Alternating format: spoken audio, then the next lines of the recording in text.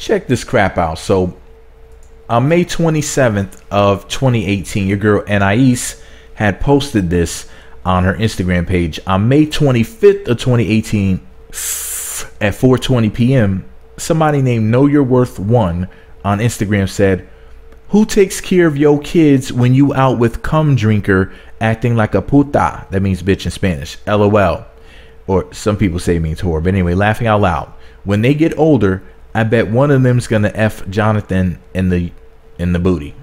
Looking eyes emojis, five eggplant emojis, five laughing crying emojis. And I and I said, the reason why famous people sometimes have to forget they famous and go to jail. Listen, y'all. Why the hell would somebody say something like this to somebody? I mean, they obviously think that mess is funny. That's why they posted those laughing crying emojis. But it, not only was it not funny, it really makes me wonder whether or not that person is okay in their head to private message a celebrity something like that.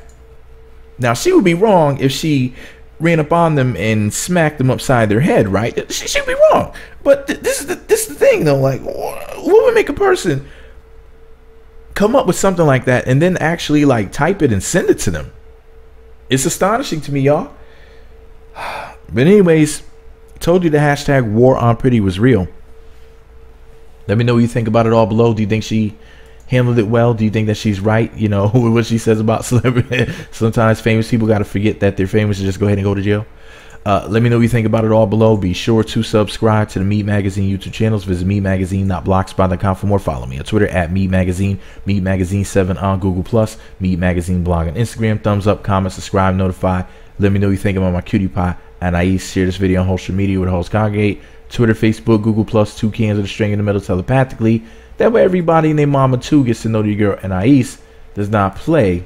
And there's people out here saying crazy shit like what the hell, y'all? I got to go. MEET Magazine. What the what in the world?